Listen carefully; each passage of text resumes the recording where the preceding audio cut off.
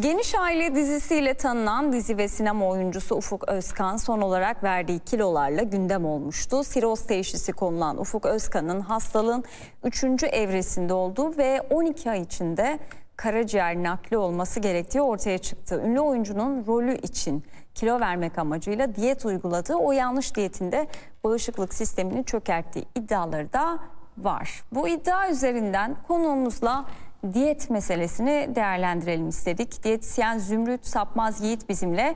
Hoş geldiniz Zümrüt Hanım. Merhaba Duygu Hanım, iyi yayınlar.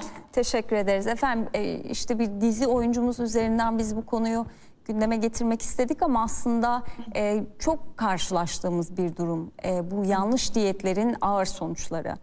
E, siz ne söylersiniz? Bir kere yanlış diyet ne demek aslında onu da yani bir diyetin yanlış olması nasıl tanımlanabilir? Ee, yanlış diyet e, aslında kişiye uygun olmayan, e, çok e, kısa vadede e, çok farklı sonuçlar vaat eden, e, özellikle bu tarz diyetlerde e, insanlar e, çok kısa sürelerde çok hızlı kilo vermeyi hedefliyorlar. Aslında bunun e, bir e, normali var. O normalinden uzaklaştığımız zaman adı üstünde yanlış diyet yaptığımız zaman e, bir takım e, şeyler de maalesef yanlış ilerliyor.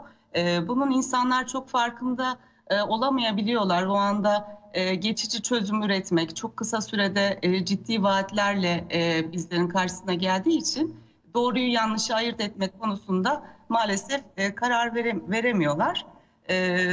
o yüzden bu yayınların hani doğru şekilde yönlendirmek, insanları düzgün bilinçlendirmek amacıyla evet çok faydalı olacağını düşünüyorum. Teşekkür ediyorum o konuda da. Ee, biz size teşekkür ederiz. Şimdi diyet konusunda siz daha e, profesyonel bir şekilde anlatacaksınız. İnsanların yaşı, hastalıkları, e, her şey çok önemli ama tabii bir e, nasıl diyelim e, popülaritenin insanları sokmaya çalıştığı bir kalıp da var bir yandan işte çok zayıf olmak, çok fit olmak.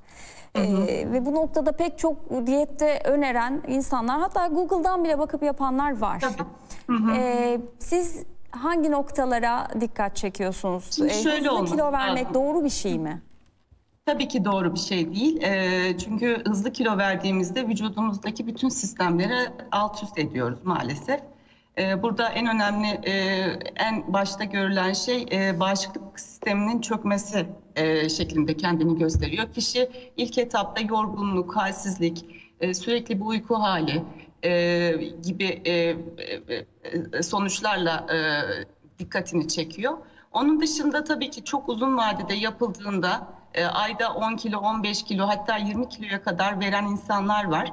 E, bunların bizim e, vücudumuzdaki sistemleri e, alt üst ettiği e, ortada. Özellikle yaptığı en önemli problemlerden bir tanesi kalp kalp sistemini bozması. Çünkü hızlı kilo verişlerde maalesef yağ kaybı söz konusu olmadığı için kas kaybı bir şekilde ortaya çıkıyor ve bu kalp kasında bir takım azalmalara neden oluyor. Bu da gün, günün getirisi olarak kalp krizlerine vesaireye neden olabiliyor. Onun dışında çok hızlı yine kilo verişlerde sağlıklı beslenme ile alakalı olarak saf e, özellikle e, karaciğer fonksiyonlarında bozukluklar, karaciğer enzimlerinde yükselmelere neden olabiliyor.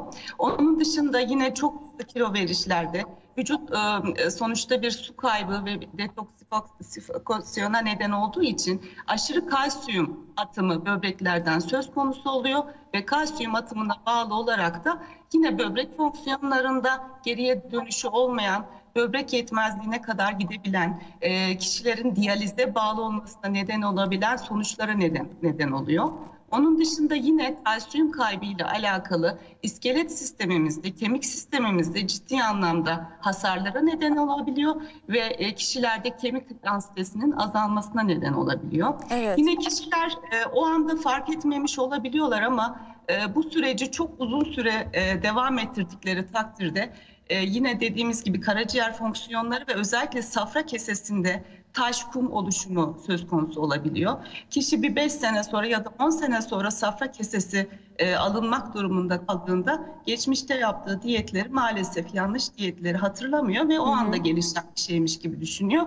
E, o yüzden de uzun vadeli e, bir takım sonuçları var. Kısa vadeli de geriye dönüşü mümkün olmayan e, organ yetmezliklerine kadar gidebilen az önce haberde de gördüğümüz gibi Evet. karaciğer ve böbrek açısından özellikle çok riskli e, sonuçlara neden olabiliyor. Bu yüzden de hep diyetin kişiye özel olmasından söz edilir. E, Her diyet herkese uygulanmaz de- der profesyoneller. E, Kişiye özel diyette de muhakkak ki konunun uzmanının e, takibi gerekir. Öyle değil mi? Tabii ki, Kişiye tabii ki. özel diyet ne- nedir efendim? Şimdi diyet aslında bir parmak izi gibi düşünebiliriz.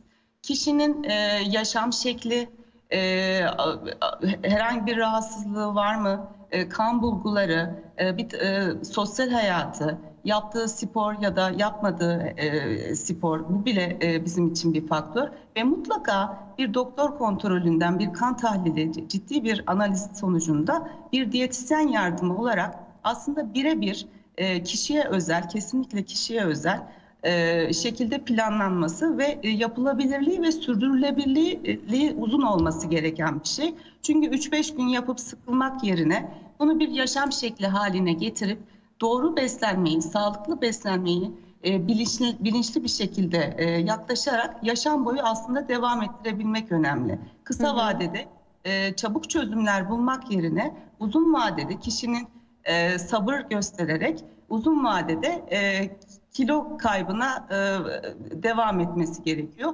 Normal şartlarda sağlıklı olan kilo kaybı haftada e, 500 gram ile 1 kilo arasındadır. E, bunu aya vurduğumuzda e, 2 kilo ile 4 kilodur normal şartlarda kilo kaybı. Ama bu tür sağlıksız listelerle insanlar ayda 15-20 kilo şeklinde kilolar kaybediyorlar ve bunun e, vücudumuza ciddi anlamda da e, olumsuz etkilerini maalesef ki gözlüyorlar ve iş işten geçmiş oluyor aslında. Ben size şunu da sormak isterim. Çok enteresan adlarda diyetler var işte. Yani kimisi elbette ki muhakkak bir profesyonel e, bakış açısıyla ortaya konulmuştur ama bazıları da böyle ya, ismi bile çok garip, değişik diyetler. Siz bunları nasıl görüyorsunuz? Yani bu kadar çeşitli, bu kadar hakikaten var mı yoksa bunlar tamamen po- po- popülizmin Evet, bir ürettiği şeyler mi? Aslında şey e, dikkat çekmek için ortaya atılan farklı isimler, dikkat çeken isimlerle ortaya atılan aslında temelde aynı şeyi ifade eden e, yenil, yenilenmesi amacıyla işte Hollywood diyeti vesaire gibi bir takım hani daha böyle can canlı e, kelimelerle ifade edilen diyetler. Bu, bu tarz diyetlerde e, alınması gereken her bireyin günlük alması gereken bir kalori miktarı vardır. Biz bunun altında ciddi anlamda altında beslenirsek işte bir takım sağlık problemleriyle karşılaşıyoruz. Bu tarz e, az önce bahsettiğimiz listelerde genellikle düşük e, kalori e, üzerine e, kurulan e, onun dışında e, posa lif, tüketi, lif tüketimini ciddi anlamda azaltan daha çok e, sıvı ağırlıklı beslenmeye yönelik e, işte smoothie'ler şimdi çok moda ya meyvelerin suyunu Evet. sıkmak ya da sebzelerin suyunu sıkmak gibi bu tarz beslenmeye yönelik olan ya da e, çok yüksek miktarda protein içererek e, kişiyi beslemek gibi e, temelde aşağı Peki. yukarı aynı olan kalori kısıtlaması olan listeler. Peki, çok teşekkür ederiz Zümrüt teşekkür Hanım. Değerli katkınız için hoşçakalın efendim.